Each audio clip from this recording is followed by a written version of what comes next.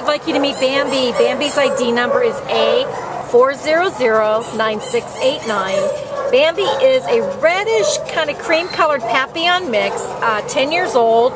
Came in as an owner surrender due to landlord problems. I weigh 16 pounds.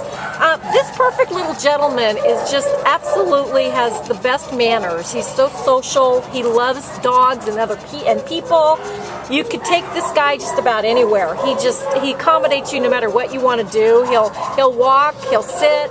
Um, Lolly tells us that he sits on command. He's really great on the leash. Uh, what else do you want to say about this adorable guy, Lolly? Well, he's adorable. I mean, the minute I went up to him with the, the loop on the leash, he put his head in, so he really knows the leash. I think he would be fabulous to just take with you anywhere you go, that he would sit at your feet. Let me look at this guy. He's so content. And he has such a, a good energy level for a 10-year-old dog. He's, he's so well-mannered. He just, I mean, well I mean, this guy really, as far as charm school goes, he's like the top of the class. Oh, he is. He's he just is. absolutely adorable, and he's got this gorgeous silky fur. Um, yeah, and he would be a great greeter. Yeah, he would. He would. You could take this guy anywhere.